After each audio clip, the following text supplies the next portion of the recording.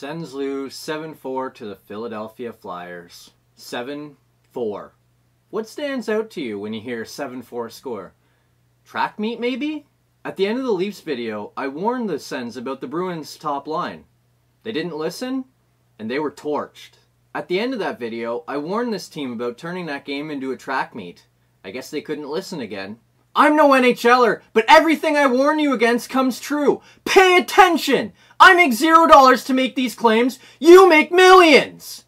If I know it's coming, so should you! Having said that, it was a pretty fun and entertaining hockey game. But man oh man, if you don't tighten up defensively, this is going to be a long season. Of course, the only reason they were able to play that run and gun style is because they were having an excellent night offensively.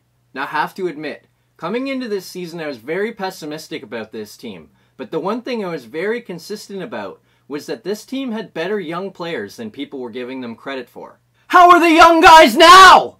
Thomas Chabot is an Ottawa Senator. He's pretty good. Ditto for Maxime Lajoie. They couldn't possibly have anybody else. Oh, yes, they do! They got a guy with the best name in sports! A guy with the name. Brady! Brady Tkachuk plays hockey in Ottawa! Brady Tkachuk is a Sen! That's right, the guy that we were supposed to give up in the draft, he plays for Ottawa! There were times last night he looked like a man against boys. He was unquestionably the best player on the ice for the first period and a half. Two goals, just over 21 minutes into the game, I might add, and one assist. That's a pretty good night for a kid in only his second NHL game. His first period goal came three games quicker than Dad Keith and two quicker than Brother Matthew. Drafted highest, scored fastest. We got the best Tkachuk, baby! Heck, he was even up to typical Tkachuk antics in the third, trying to secure his first Gordie Howe hat trick of his career. As it turns out, he just beat up an unwilling Scott Laughton. Speed, skill, toughness, and the willingness to go to the net? I love it. Something else I loved? Craig Anderson. With the Flyers on the power play, they started globetrotting the puck around the Sen zone. Giroux to Couturier to Simmonds. Not today! Simmonds picks up the rebound. Get that garbage out of here! Craig Anderson kicks out his left leg and turns away two excellent Flyer scoring chances. The second one might have hit the post too. Lucky and good on that play. It was a huge play too, as a few minutes later, Tkachuk showed his willingness to go to the net. With the Sens on the power play, Lajoie throws the puck in front, Tierney tips it, it bounces off Tkachuk's skate, and in. He kicked that in. How the refs let that go is beyond me. I said at the time of the goal, that's going to be reversed. It wasn't. Brady Tkachuk gets his first goal in the NHL, and the Sens lead 1 0. Then, 22 seconds later, Dylan DeMelo gets a penalty for tripping. Don't do that. The Sens kill it off. No harm, no foul. This time. Five minutes later, Wideman goes to the box for hooking. Considering he took away a breakaway chance, it was the right move, but quit taking penalties. 39 seconds later, Giroux to Gostisbehere, clap bomb, Voracek tips in front.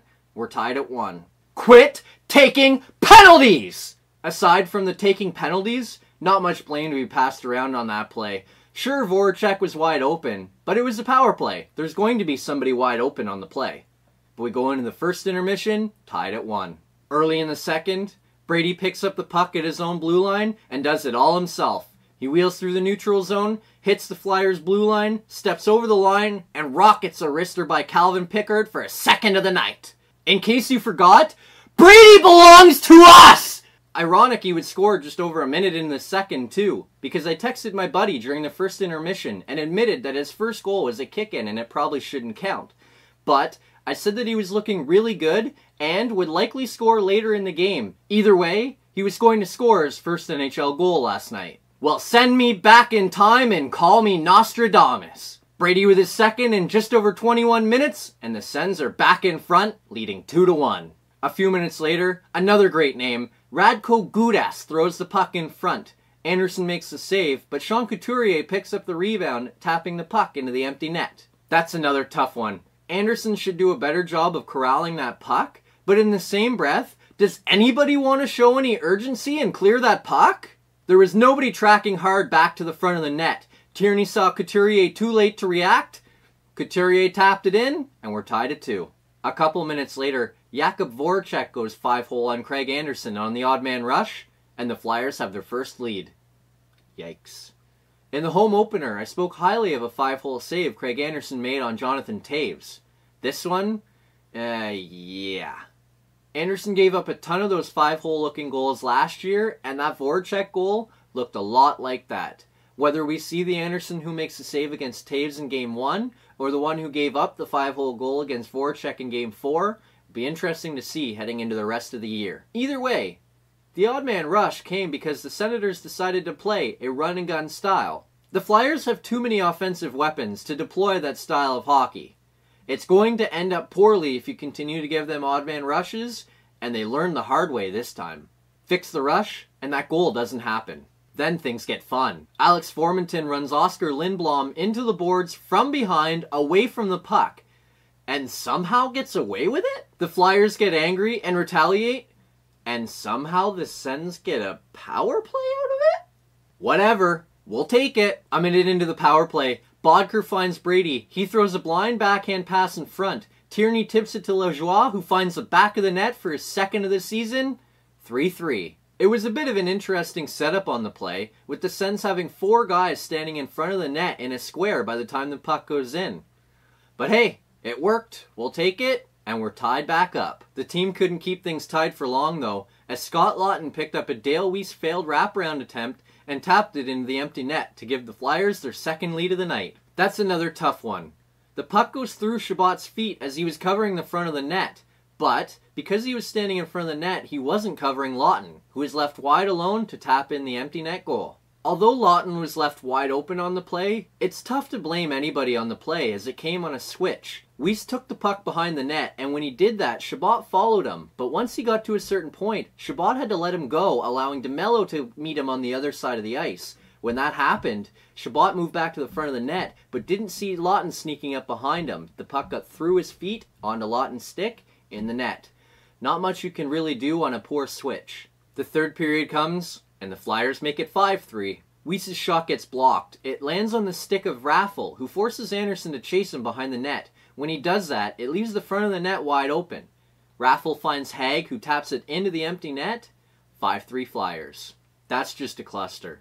Usually, when your goalie ends up that far away from the goal, it ends up in a goal. Chris Wideman tried to make a save on the play, but he's no goalie. The Flyers have a 5 3 lead with just over 15 minutes remaining. Then, the Flyers go to the power play. You better believe we're going to be having a penalty chat at the end of this one. Giroux bangs home a puck that bounces off like four players, and the Flyers take a 6 3 lead. Again, power play, bouncing puck, broken play. Not much the Sens could have done differently on that one. Remember the penalties I was talking about? Well, the Flyers take one, the Sens go to the power play, and they cut into the lead. Mad Max, the new repackaged one, jams home his second of the night on another puck that bounces off a couple guys, and the Sens cut the lead to two. What is going on with Lajoie? One year after scoring just once, he scores twice in one game and has three goals in his first four? It's honestly amazing to me that he struggled so much to score last season. When I watch him play, he strikes me as the kind of defenseman that could score a bunch. Does he have the best shot? No, not per se, but he seems to always put himself in the right areas. He has a nose for the net, and that's huge for the Sens, who are going to need their offense to come from not only their forwards, but also from their defensemen for the rest of this season.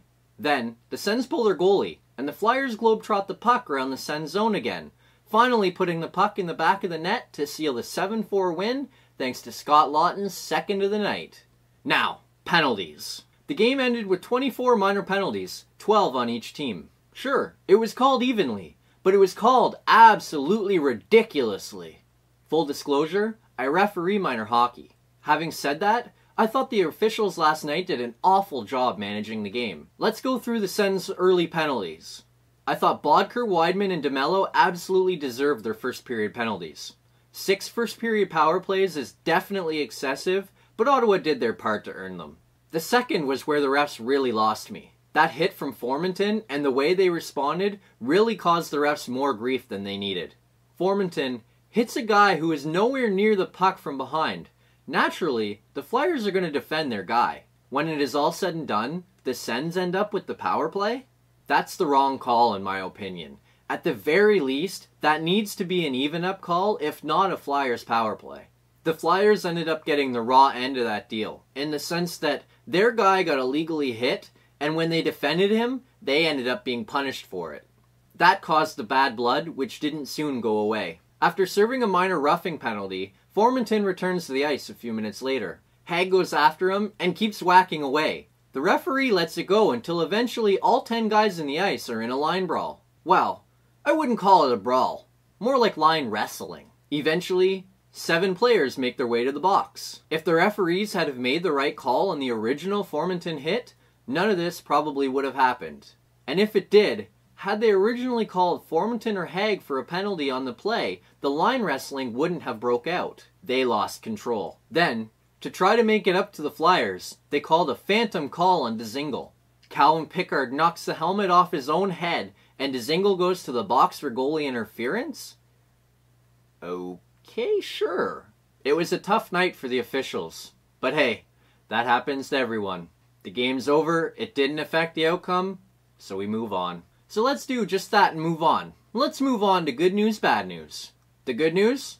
I just talked about penalties, and the Sens were the beneficiaries of that. The club, which in past years was awful with the man advantage, finished the evening 3 for 7. A special shout out to the power play, which was especially efficient last night. Sometimes, power plays are as much about building momentum as they are about scoring goals, and that first Sens power play was an excellent momentum builder. The bad news?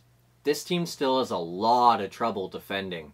20 goals against in four games? That's way too high. They can't defend right now, and honestly, it seems like they don't really want to.